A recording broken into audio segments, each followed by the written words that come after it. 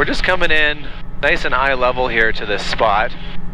We want to make sure that as we're coming in for landing here, we're favoring the right hand side just in case anything were to go wrong. We have a bailout to the right if we run out of power, there's an, sort of like an engine failure or anything like that. Yeah. Alright, so this is looking really nice.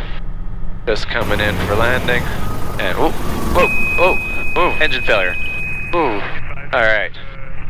Uh, shoot, okay. ooh, that was crazy. Whoa, uh, so Mayday, Mayday, Mayday, uh, Uniform Echo Tango, Uniform Echo Tango, Uniform Echo Tango, uh, okay. Uh, Thor, we're gonna be okay. I've got control here. Uh, you're flying with me. Um, so we're coming down, I see the Stave River down there. We're gonna come down and land on the Stave River there. Just controlling our RPM. Speed's pretty good. Uh, what I'm actually doing, um, at 80 knots right now, so I'm glide stretching a little bit, okay? So I'm just gonna make sure that we're stretching as far as we can here because I want to have time when we get down into this valley. It's a good thing we got a, a river valley down here. Yeah, we have good beaches there. Yeah, I think I'm already starting to see some beaches. Okay. All right, we're coming through 5,000 feet. All right, there's some beaches uh, exposing themselves over there. So let's just keep an eye on those guys. Those are going to be the ones. Now we want to pick a target um, where we're going to go to nice and early so that we can try and range variate to that target, okay? So I still have 80 knots. it looks like we're going to make the spot. So what I'm going to do now is I'm just going to start gently slowing down for the auto rotation. We want 50 knots. And so I'm just gently bringing it down to 50 knots. We're controlling uh, rotor RPM and all right, I've uh, I've got a spot in mind there.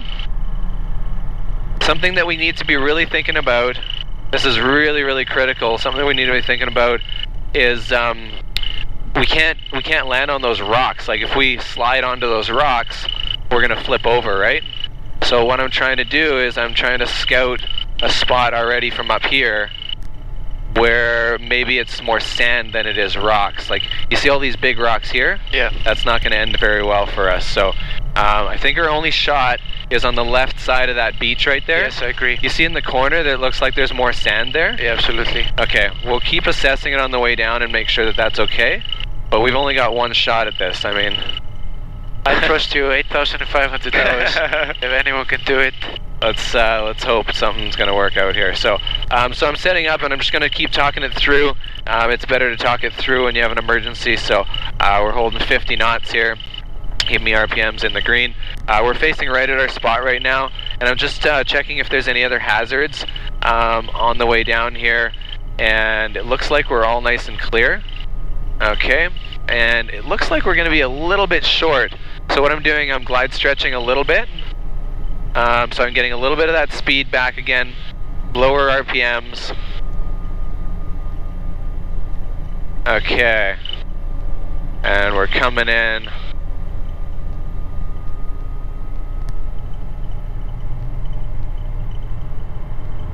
Alright, this is gonna work just perfectly right here. Uh, yeah, we're gonna do it, we're gonna do it. Ooh. We're gonna be okay. Nicely done, man. We did it, buddy. Oh my We're on goodness. the ground. That We're was alive. insane. We're alive. Wow. That's crazy. Wow. What an experience, man. Yeah. Live to die another day, right?